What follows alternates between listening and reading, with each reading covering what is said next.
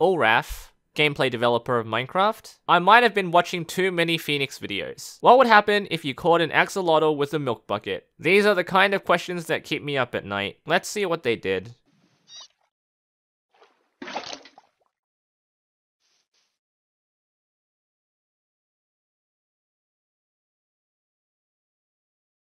We're not going to watch the end of this video. a lot of people wanted me to do this. However, it's already been done.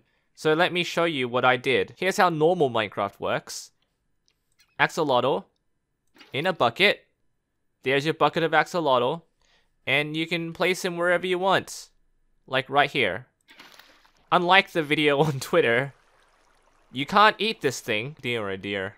I have to explain this to everyone. I need to clarify that to everyone. And so what if I had myself a milk bucket? And then I spawn an axolotl. And then I put it in the bucket. Axolotl and milk bucket. So like, if I did this. What's happened to me?